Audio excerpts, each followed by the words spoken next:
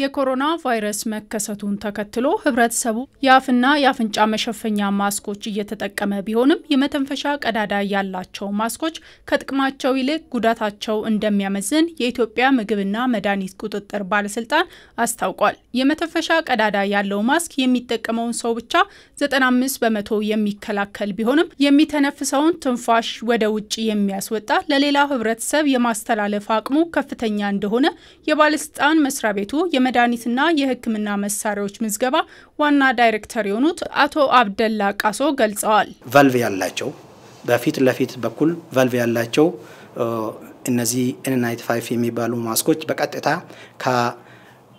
ከለባሹ ካረገው ሰው በቀጥታ የሚለቀቀው እንትን ወደ አቅራቢያው ወዳለው ሰው የመግባት እና ወደ አካባቢ ባሉ ቁሶች ላይ ማረፍ እና ከዛ በኋላ ደግሞ ሌሎች አካላት ለዚሁ በሽታ የሚጋለጡበት እድል በጣም ከፍተኛ ነው ማለት ነው። ባለስልጣን መስሪያ ቤቱ የመተንፈሻ ቀዳዳ ያላቸው ማስኮች ለጭስና ለማዕድን አገልግሎት የሚውሉ እንጂ ተላላፊ ለሆኑ በሽታዎች እንደማያገለግሉና መስሪያ ቤቱ ገበያ ላይ እንዳይውል ፍቃድ እንዳልሰጠም ህብረተሰቡ አውቆ በተለይም በጤና ተቋማት ለአገልግሎት እንዳይውል ተብሏል። የጤና ባለሙያዎችም ጭምር ይህንን በማወቅም ይሁን ባለማወቅ እኔን እስከተከላከለኝ ድረስ ለሌላው ችግር የለም የሚል ከሆነ በሽታውን የማስተላለፍ እንትኑ በጣም ከፍተኛ ነው ማለት ነው።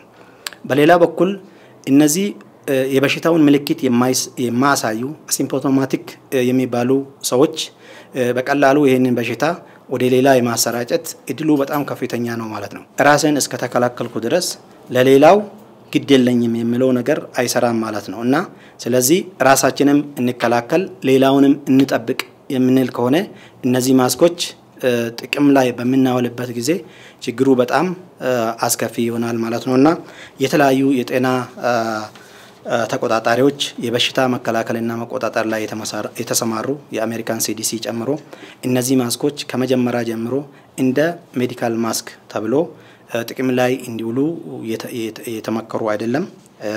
ስለዚህ በእኛ በኩልም ህብረተሰቡ ይህንን አውቆ እነዚህን ነገሮች